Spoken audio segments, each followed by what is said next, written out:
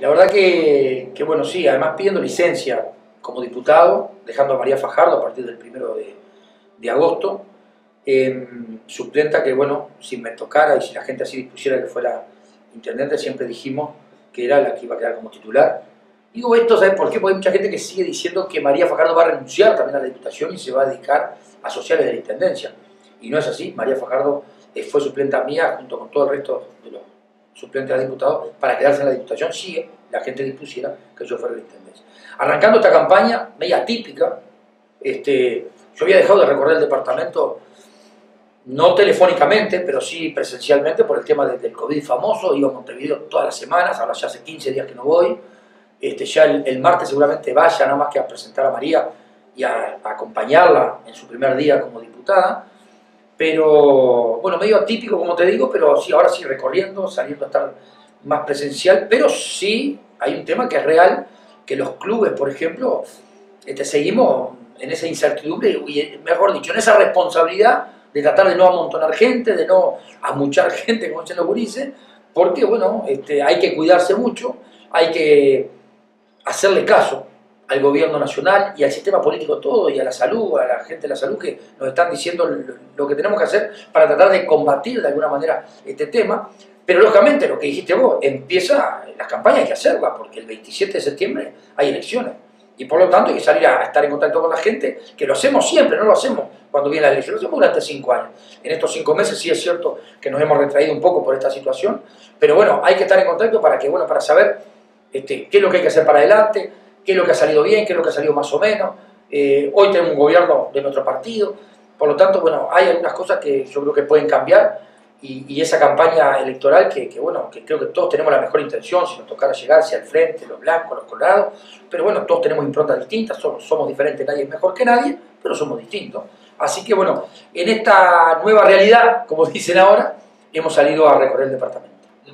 Y eh, te preguntaba al principio, eh, ya conformando formalmente las la filas, tanto alcaldes como las planchas también, los suplentes y demás. Sí, sí, totalmente. Bueno, es uno de los temas que no, estos últimos 10, 15 días nos ha tenido este, más ocupados, que ha sido la, conformación de las alcaldías este, en todos los, lugares que es posible en la alcaldía. Cardona, eh, Palmita, Rodó y Dolores.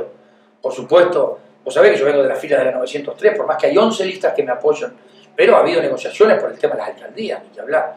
Por lo tanto, es un tema que algunos pueden decir, primero conformamos la lista a, a intendente con sus respectivos suplentes, y luego las alcaldías, que es el otro ejecutivo, el tercer nivel de gobierno, ejecutivo al fin, este, donde, bueno, por supuesto que la 903, y hoy como hombre que, con Gonzalo Novales, que manejamos un poco el tema, acompañando esos, esos, lugares, esas ciudades, para conformar primero el, alcalde, decidir el alcalde, y luego quiénes van a ser sus suplentes, y también los apoyos que va a haber, porque eso se negocia, la verdad. Este, y bueno, eso también nos ha llevado un tiempo importante en los últimos 15 días, pero hoy te puedo decir que bueno, que la 903 con el apoyo de algunas listas que no la voy a nombrar porque hay algunas que apoyan y otras que no, pero este, va a tener cuatro candidatos a alcalde eh, este, en, estas cuatro, en estas cuatro ciudades. ¿En Cardona ya está conformada la plancha suplente? No, no está conformada. Este, Rubén Valentín es, el titular y, bueno, ahora hay que, seguramente que estamos haciendo algunas negociaciones con algunas listas que, que van a apoyar la candidatura de Rubén, por lo tanto, bueno, también hay que dar lugar a otros para que participen y es lo que vamos a intentar hacer. Este, bueno, el día de hoy estamos hablando de algunas cosas de estas, seguramente en la noche. Así que este, son temas que no te creas que son tan fáciles, ¿no? Hay que prever todo, hay que prever de que Rubén, eh, algunos también razonan de que si Rubén sale intendente Besoso y se va a ser director por ahí, no, Rubén va a ser el, alcalde de Cardona si es que la gente lo elige, ¿está? Y que quede claro eso también, porque uno dice, no, eh, Rubén se pone primero y después capaz se va para Soriano, para, para Mercedes, no, no se va nada para ningún lado, no se va a ninguna dirección. Rubén Valentín, si larga una candidatura a la alcaldía es porque va a quedarse alcalde. Si no, lo debería decir antes, como dije yo en la diputación, dije, ojo, mi suplente, mírenlo bien, porque yo voy a intentar la, diputación, la intendencia, y si logro la intendencia, me quedo en la intendencia y no sigo en la diputación. Bueno, hoy yo lo digo públicamente, y Rubén creo que lo está diciendo también, por supuesto, de que este, Rubén Valentín va a intentar la alcaldía y Rubén Valentín va a intentar la alcaldía para quedarse de alcalde durante cinco años.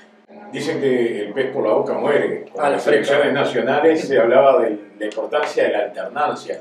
El Partido Nacional, la 903 en los últimos periodos, ha estado en la intendencia de Soriano. ¿Cuáles son las fortalezas que, contradiciendo a eso de la alternancia, puede tener este, bueno, un nuevo periodo con Guillermo Pero a ver, yo hablo de alternancia, este, y cuando me ha escuchado hablar de alternancia, yo la alternancia puede darse en el mismo partido.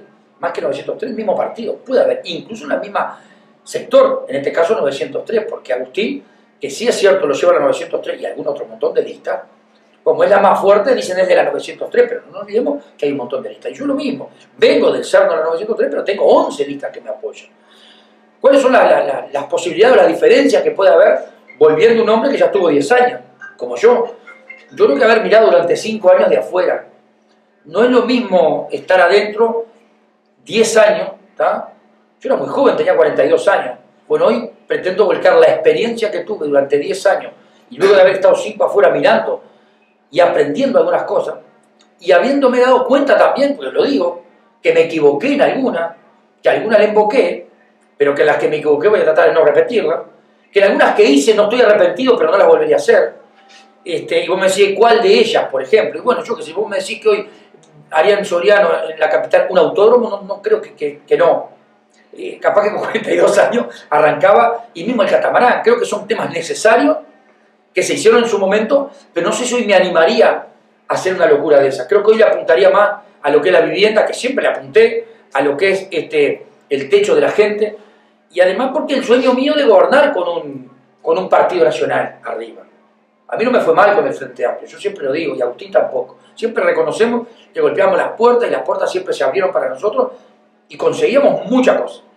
Bueno, aspiro que hoy algunas cosas del de cual quedaron por ahí en el tintero, pero no por mala voluntad, sino porque a veces no se puede hacer todo. Bueno, con mi partido no se a poder concretar.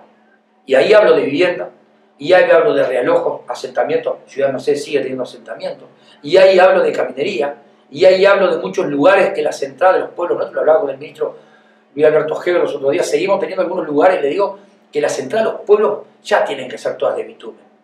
Hoy nos quedan tres o cuatro pueblos todavía con entrada, el caso Castillo y Perseverano sigue siendo una entrada de tierra, el caso del Chispa, el caso del Tala. Hay otros, Egaña, Rizo, que sí se han ido haciendo de, bitumen.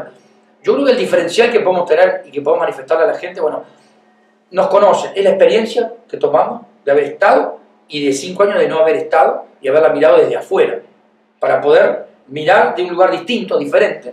Este, y bueno, yo creo que el, valor nuestro creo que puede ser la experiencia.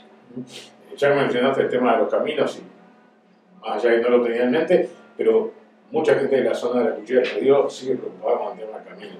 Se ha reclamado desde hace muchos años, que se ha reclamado en este periodo que va combinando y seguramente te lo van a reclamar este, cuando llegue el momento. En ese sentido, la gente de, zonas rurales puede tener una expectativa de un arreglo más profundo en ese tipo de caminos. Yo creo que hasta, hasta la misma la cuchilla, hasta el MEVIR, hay que pensar en algún otro sistema distinto a lo que es la tierra, este, el balasto.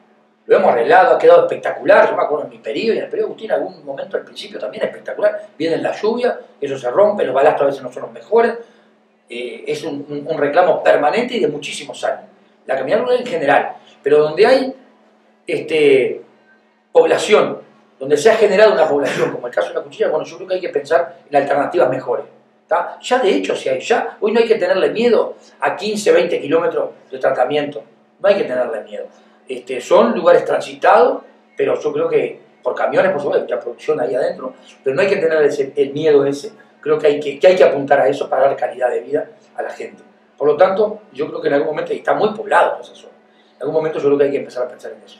Por lo menos estamos pensando que hay varias entradas a poblaciones, el Perdido lo nombraste vos, y debe ser el más lejano, o sea, el que tiene más distancia, pero no, no por eso este, menos importante. Así que seguramente lo tengamos en carpeta también. Guillermo, naturalmente, imagino, se debe estar trabajando en un programa de gobierno que tiene alguna fecha para ser presentado. Voy a volver a la del Perdido. Una vez estuve con una gente acá en el carnaval, en el rendezvous, en el rendezvous. Estuve con una gente de la Cuchilla del Perdido, que creo que vos participaste en esa reunión, y yo ya ahí manifesté de que ese tipo de camino hay que ir al asfalto. Y ya no se puede seguir con esos caminos, porque el mundo indica eso, porque las nuevas realidades los nuevos momentos de, la vida indican, y del país y de la zona, indican que que de Lo dije en aquel momento y hoy bueno, lo estoy ratificando de alguna manera. Perdóname que me, me distraje. ¿Qué me preguntaba ahora? Eh, si se estaba trabajando y cuándo se podía conocer eh, un programa, es decir, la propuesta. Ah, sí, sí. sí, estamos trabajando. Hay tres o cuatro este, dirigentes que están trabajando fuertemente en esto, por supuesto en línea conmigo, y en línea con todo aquel que quiera aportar, sea del Partido Nacional, sea de nuestra línea o no. Los jóvenes del Partido Nacional también están trabajando, y gente que aporta desde afuera. Ahora venía viajando, por ejemplo, y un hombre que no es de mi partido, manifestaba que en algún momento en la interna yo había manifestado una, una, plazoleta de deporte, o sea, con aparatos y eso, este, en un barrio de allá de Mercedes, y que este, hasta ahora no se había hecho. Lógicamente, si no he podido llegar, voy a intentar llegar, decía yo. Pero hicimos contacto con el amigo Raúl Morosini, con él, porque es bueno también que lo que se dice a veces en campaña, que lo decís por el momento y porque en ese momento te, te diste cuenta que sí hacía falta, recordarlo. Bueno, lo tomamos y así tiene que ser. Creo que todo aquel que nos vaya llamando, hay un equipo de gente trabajando por dos cosas. Primero, porque hay que tener una visión de lo que pretendemos para adelante. Y segundo, porque también hoy hay una ley que te, te, obliga ¿no? a presentar un programa de gobierno frente a la Corte Electoral. Hace un rato hablabas de las cosas que habías hecho y no volverías a hacer, de las que te quedaron pendientes, de las que con experiencia tenés otra mirada. El equipo de, directores de la Intendencia viene ya desde hace tres periodos, cuatro con este próximo, si es que permanece.